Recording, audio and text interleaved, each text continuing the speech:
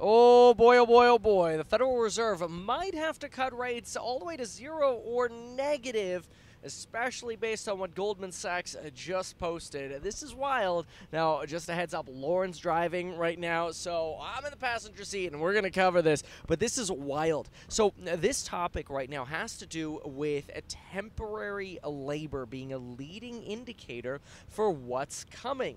And this is a really interesting one because if right now you think, yay, the yield curve uninverted, don't be so excited. When the yield curve steepens, that is, when the number goes bigger and more positive, we're usually in a more painful environment. Look at what the yield curve did all the way back in last summer when we had three months of pain. You know, July, August, September, three months of pain. We had three months of yield curve going up.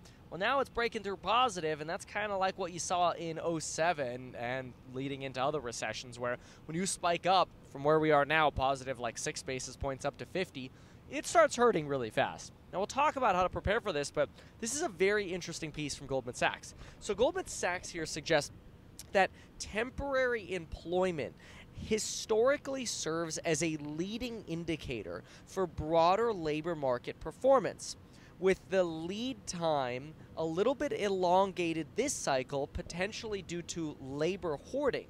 However, the data they're collecting suggests that non farm employment will worsen over the next several quarters. Usually, temporary employment skyrocket well i shouldn't say skyrocket temporary employment employment plummets to a negative year over year growth rate only in recession that happened in 1991, and we only went positive again after the recession ended. It happened in 2001, and temporary employment year over year plummeted negative, and we only went positive again after the recession was over. It happened in 2008, and it only went positive again after the recession was over. And we have now been negative since the end of 2022 which suggests that maybe because of the AI euphoria and that investment, that capex investment, we may have delayed the inevitable here. But usually we don't go positive again with temporary employment until we come out of a recession. In fact, you can pop over if you want. You could pull it up yourself to the St. Louis Federal Reserve, uh, the Fred, we like to say. Uh, and you could take a peek. Wow, Tesla stock was down 8.45 today. That's wild. Q's down 3%. That's wild. But anyway, uh, you could take a peek uh, at specifically this chart or one of the charts if you want to see them. Uh, and it's, uh, I can't seem to pull it up on my iPad right now, but that's okay. Uh, but I was going to tell you exactly what phrase to look for. Oh, here it is. All employees temporary help services. All employees temporary help services. Look at that chart, and you can see it only goes negative uh, in recessions and uh, it's been trending down quite a little bit here since the end of 22 but it is usually a leading indicator by about three to four, four quarters per Goldman Sachs of a recession coming. Now, why could this potentially mean that rates have to go down to zero or this crazy talk negative?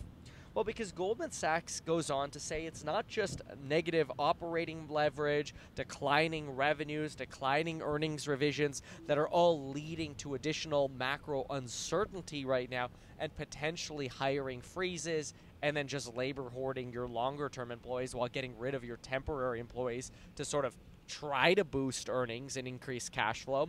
But consider this generative AI is increasingly being considered a potential medium to longer term threat to staffing volumes, both temporary and permanent. And this is a really interesting thought because now you want to think about this. What happens if we don't get a second wave of inflation? And the Federal Reserve's task is not worrying about inflation, but it's rather only worrying about jobs. This could happen because supply chains became so darn loose, it's entirely possible that we don't have inflation even if we go back to quantitative easing, which sounds crazy, I know, but it's possible. But we'll skip the inflation argument here for a moment and let's just focus on labor for a moment. What happens if we go through a labor recession over the next year here, maybe even two years, probably next year, you know, maybe Q1, Q4? Three, somewhere in that range of next year, you go through a labor driven recession.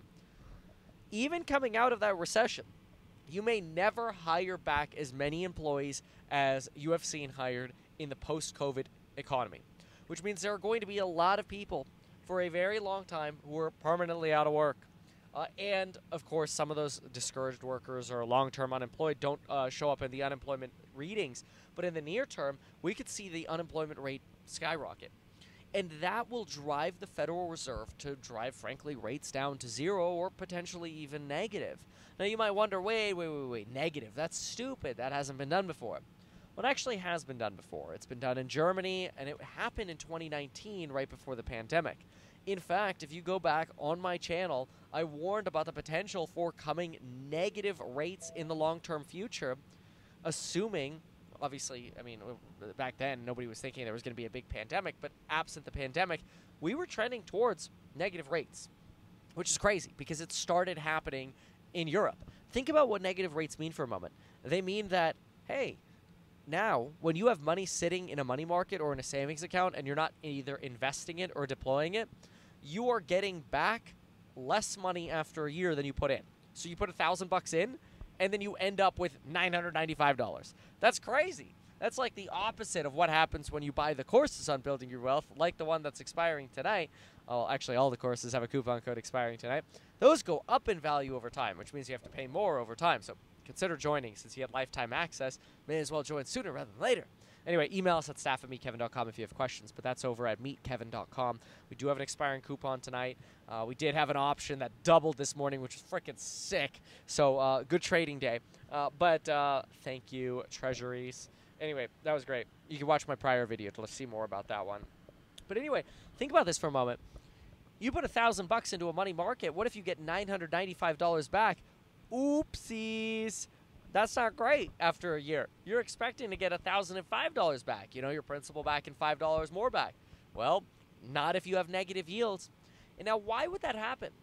Well, that would happen in an environment where potentially, well, first things first, you'd cut all the way down to zero. Then you turn on the money printer and you try to stimulate demand uh, for people hiring. But if people don't hire because they could do more with workers using AI, or they can do more with workers who are, uh, uh, you know, basically just fully replaced by artificial intelligence.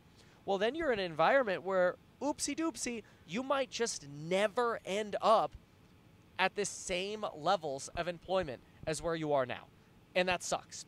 So the Federal Reserve might not react to that, though. The Federal Reserve might end up in a position where they say, uh, no, uh, people are going to hire people again. Of course, let's just keep rolling the money printer.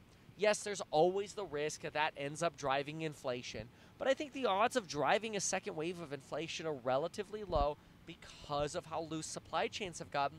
And actually, this is a crazy thing. Usually, one of the big drivers of inflation is labor when labor gets really tight, it causes inflation. Wages go up, and then businesses try to pass through those wages. So, beyond just expanding service capabilities through AI or not, or manufacturing capabilities or lower freight costs or whatever, beyond that, you actually think from a wait a minute, if labor is less necessary, then labor costs don't go up anymore every year.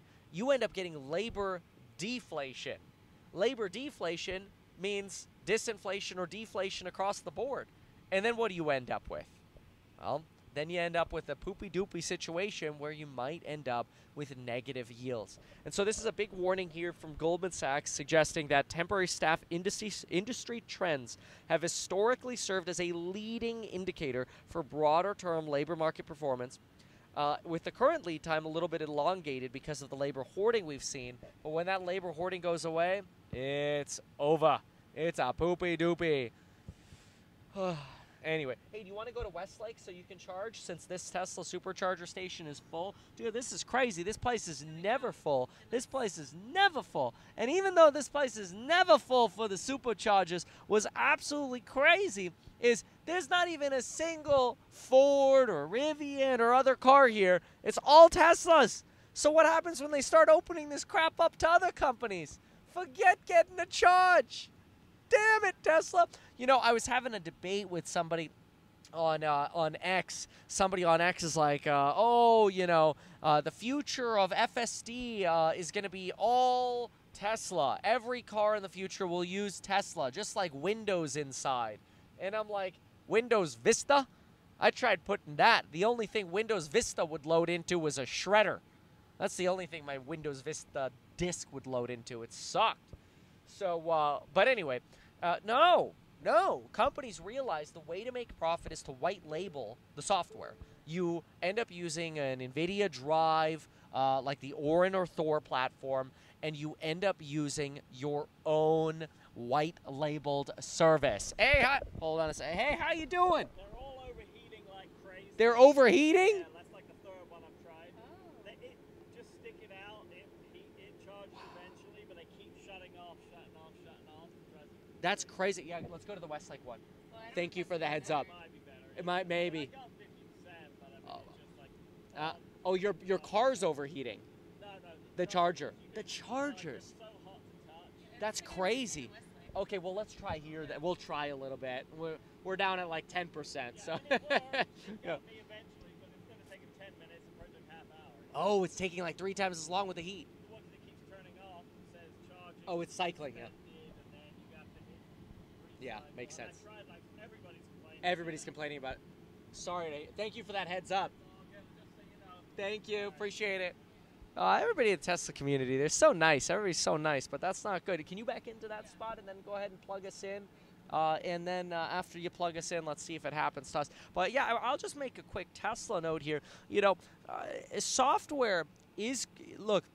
You know, a lot of people white label wine, right? What they do is they they go to a winery and they're like, "Hey, your wine tastes great." That, that's how they can wi- write off their wine tasting visits as well. Yeah, yeah, your wine tastes great. I want to put my label on it. So you'll make like a Meet Kevin wine, and it's actually, you know, I don't know, some Charles River wine or whatever, right? And you just slapped your label on it. They don't care because they're selling more, you know, barrels of wine.